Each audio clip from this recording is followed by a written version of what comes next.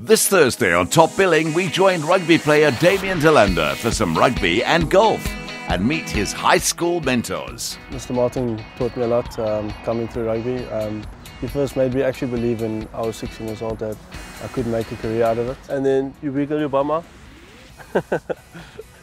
For real? No, I'm just joking, I get taught that. Oh, For more on one of South Africa's most promising young sportsmen, don't miss Top Billing this Thursday night at 7.30. Repeat Sunday at 12.30. Find it on 3.